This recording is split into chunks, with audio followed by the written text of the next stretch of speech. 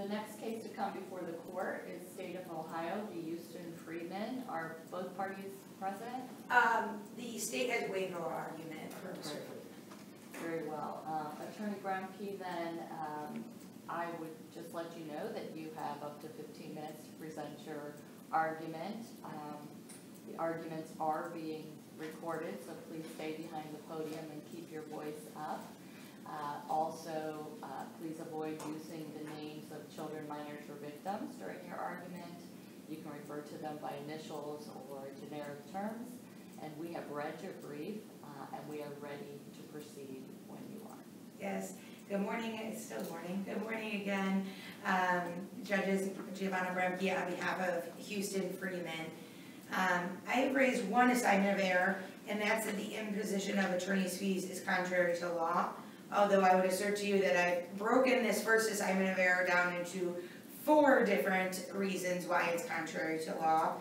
The state has conceded at least to, um, the fact that the attorney's fees cannot be assessed as part of the sentence. Should they have conceded to that, though? It says in the entry it's a civil sanction, which is what the law requires. The entry says this is a civil sanction and cites the case that you cite in your brief. The Taylor case? Correct, so, um, this case, in, in this, um, entry, is actually, I would assert to you, worse than, um, Taylor, because although it says that, number one, um, Taylor stands for the fact that, uh, and Taylor's very specific as to these attorney's fees being assessed, and says it can't be part of the sentencing, that it has to, um, that that best practice is, although I don't, I agree that Taylor doesn't say it has to be, that there's a separate entry with regard to that. In Taylor, it was, the imposition was under an- a title financial sanctions. And, um, this is actually, I'm sorry, financial obligations in Taylor. This, page three of the sentencing entry, is, uh, states financial sanctions.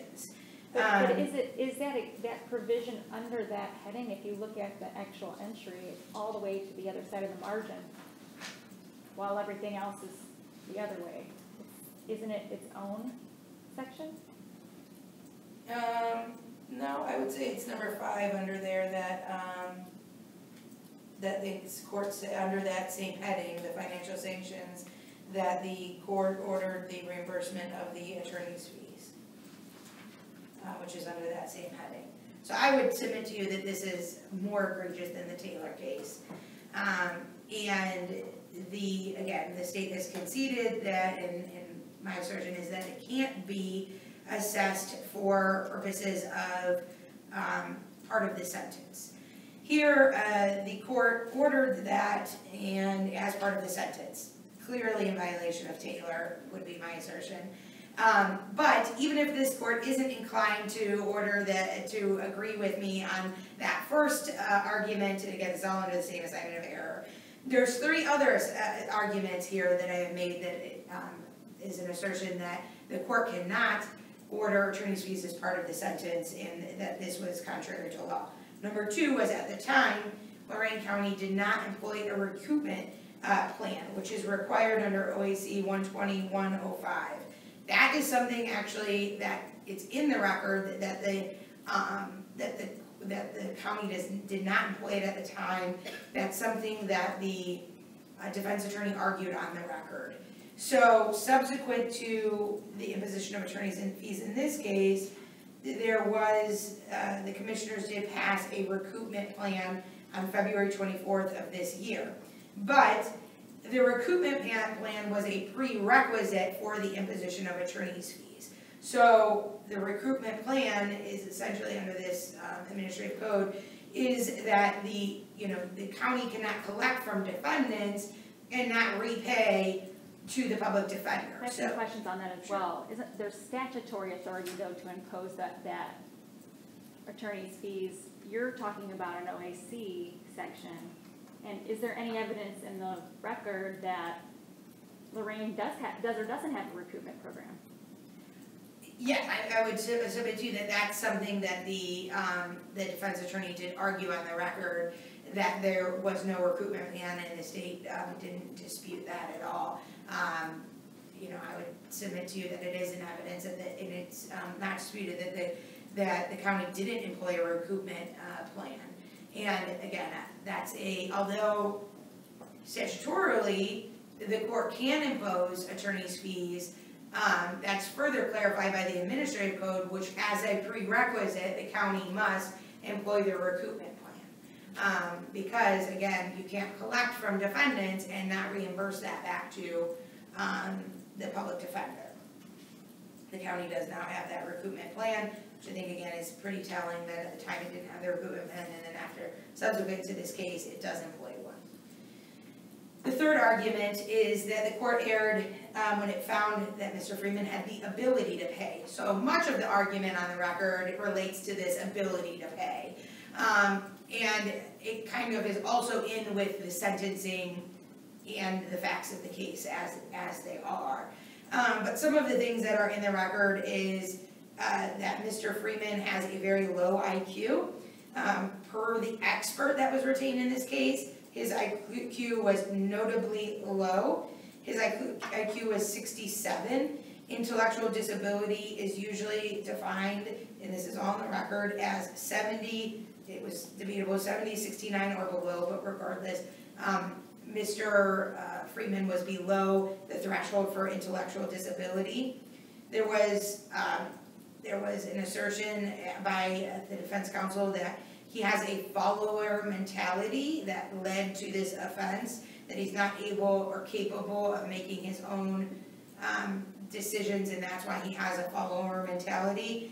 And there was also an assertion, um, which I think is telling, because of- there's a lot of people that can parent that maybe shouldn't, but there was an assertion that the, he was too low of an IQ to even properly parent a child, which was relevant to this case. Um, and there was also a statement that Mr. Freeman would benefit from Murray Ridge, which is the Lorain County Board of Developmental Disabilities. So it's clear that he has this intellectual disability and an inability to, um, provide for, um, or ability to pay. He, Was there a PSI uh, done for sentencing? I believe the entry does state that, yes. And if there was, I, I would have, I would have, um, I believe that there was a PSI. So there's probably some information in there about his work history, essentially. Would you agree that the PSI could, um, be used as evidence that he does have the ability to pay if he has a work history or if he currently has a job? I would assert to you that that, that's not, um, what the trial court used here to determine. So the, what you'll see in the transcript is that the trial court asked, hey, do you work? He said, yes, I've been working for three weeks as a landscaper. Um, and then the court immediately sort of went into this, well, I find that you're able-bodied, your ability, you have an ability to pay. Um, but the, you know, twenty-nine forty-one point fifty-one D, um, you know, the, a person can only be ordered to pay the amount that the person is, um, can, is reasonably expected to pay. I would you that even if there is a PSI that talks about work history, that, that would not go into expenses. And this, um, while there is not a set factors for ability to pay, Taylor acknowledges, and there's a post-Taylor case, State versus Ivy in the sixth district, that, that cites to Taylor, about this myriad, myriad of factors, basically that is a lot of factors, and there's not a set amount of factors, but those factors, you know, according to OAC one twenty, one oh five, would take into consideration the person's ability to pay, their income, um, their basic living expenses, costs and expenses related to this case. So your, your position is, in order for him to order that the attorney's fees be paid in increments as cost, there would have to be a numbers analysis. Uh, Correct, and just in, exactly, um, you know, it, it- that's something that they're, they're, it's, it's not necessarily related to work. Because again, expenses or, um, hardship are things that can be taken into con- consideration.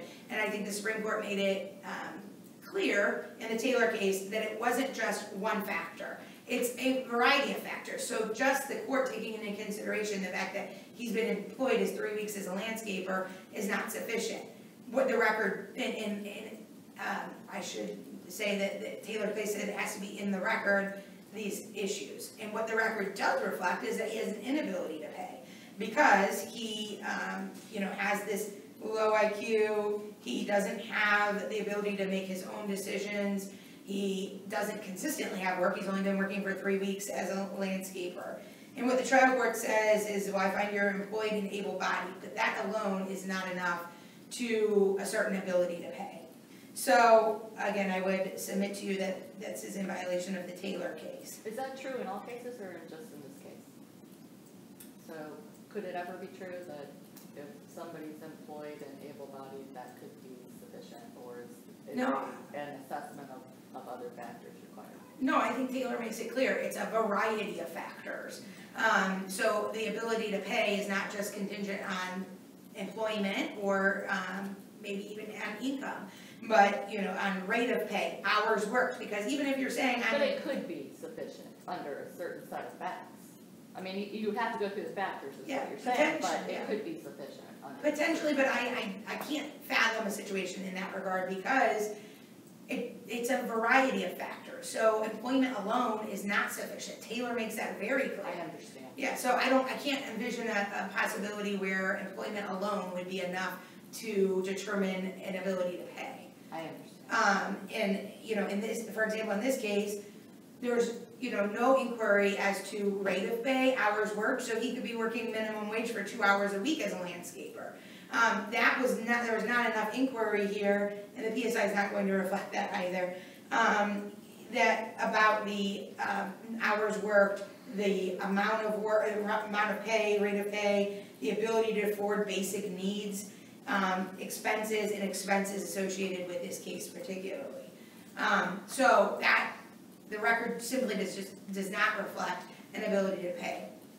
Um, fourth, my argument is that, um, the court, much like in a restitution situation, State versus Jones, and there's other subsequent cases, where the court has to make a specific finding as to, at the time, the amount of uh, attorney's fees. So this entry is void of that.